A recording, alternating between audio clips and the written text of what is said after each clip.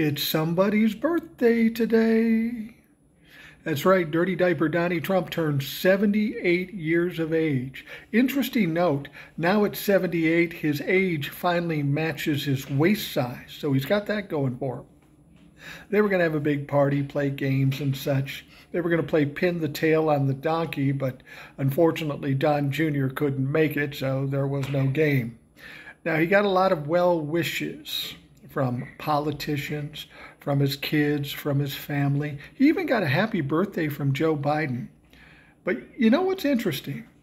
There was one name missing from those well wishers Melania Trump, his wife. His own wife didn't wish him happy birthday on this very special day.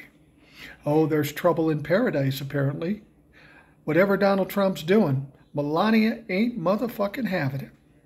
So Donnie Trump's got a lot of people that wishing him the best for his 78th birthday. And trust me, he's going to need it because he's got a lot of bad shit down the road for him.